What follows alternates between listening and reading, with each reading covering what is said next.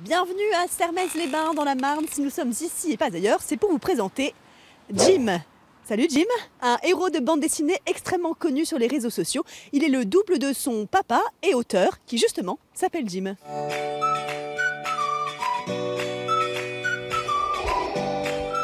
Jim avec deux M, scénariste et dessinateur et totalement autodidacte. Une passion pour la bande dessinée qui lui vient de son enfance et comme chaque grand auteur, il a créé son personnage, Jim, un seul M, avec qui la ressemblance est presque parfaite et qu'il appelle son double maléfique. Maléfique parce que euh, mon personnage Jim, euh, avec un seul M, trois poils sur le caillou et un grand pif, euh, peut se permettre de mener une vie que moi je ne peux, pas, peux pas forcément mener. C'est-à-dire qu'on n'a n'a pas les mêmes limites. Il a la presque même femme, il a les presque mêmes enfants, il a les presque mêmes emmerdes et il est juste presque pas pareil. Bah, Jim, par exemple, euh, a une haine profonde pour son beau-père, ce qui, en l'occurrence, n'est pas mon cas. Je, l'aime énormément. Denis, si tu nous regardes, je t'aime.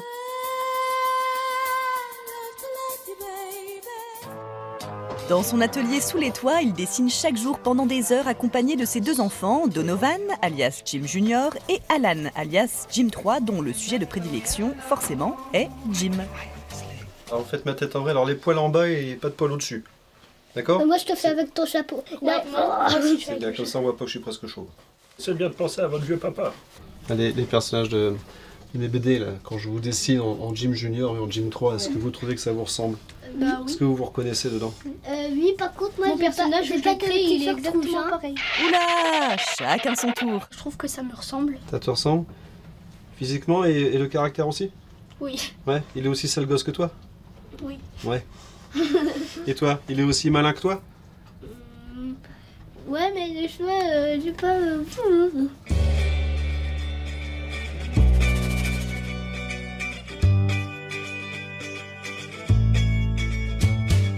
J'aime bien le feutre parce qu'il y a quelque chose de, fluide là-dedans. J'utilise un feutre particulier qui, est, euh, qui a une mine euh, moitié pinceau, moitié feutre. J'aime bien dire c'est la, rigueur du feutre avec la souplesse du pinceau.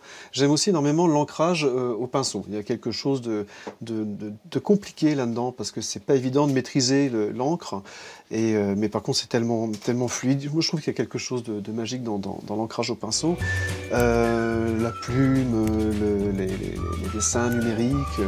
C'est notamment grâce à la Cintiq, une grande tablette qui permet une précision et une qualité ultime du dessin, qu'il a pu retravailler les 140 planches faites main de son premier album à venir. Hello. Oh Jérôme. T'as ça? C'est formidable, ça va? Et toi?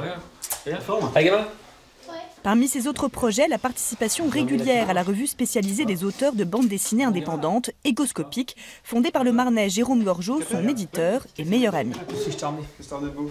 J'aime l'artiste et j'aime l'homme, c'est-à-dire c'est deux choses différentes et euh, c'est un personnage. C'est-à-dire que lui, il a un personnage, c'est Jim, euh, mais il est aussi un personnage. C'est-à-dire c'est pas toujours le cas de tous les auteurs de bandes dessinées qui parfois sont des gens ternes. Euh, je parle pas pour moi. Hein. Et en plus, son dessin est, génial parce que c'est un dessin populaire et en même temps très efficace. C'est une sorte de, je dirais, euh, c'est un bon mélange entre Tintin et Spirou. Et c'est le chalonnais Cabu qui lui a donné le goût et l'envie de devenir dessinateur. Comme beaucoup de gamins de mon âge, euh, je regardais Cabu au Club Dorothée, je dessinais en même temps, c'était juste merveilleux. C'est le mec qui m'a vraiment donné envie un jour de prendre un crayon.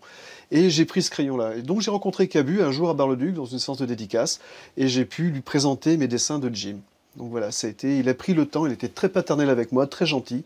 Il a pris le temps devant tout le monde de m'accorder, rien que pour moi, pratiquement une heure. C'est aussi un grand admirateur de Gottlieb, Edika, des auteurs de Fluide Glacial, et puis son héros Jim a comme un air de Tintin.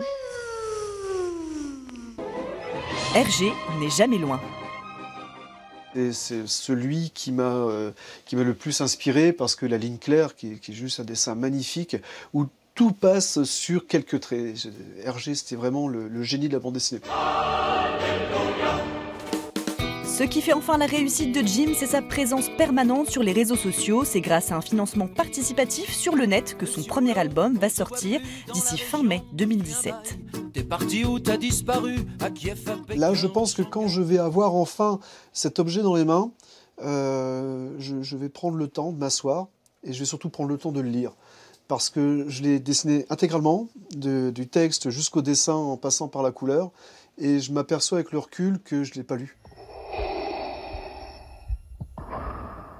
Exclusivité du Grand Est, j'ai le droit de lire le premier album de Jim. Je pense que ça va vous plaire.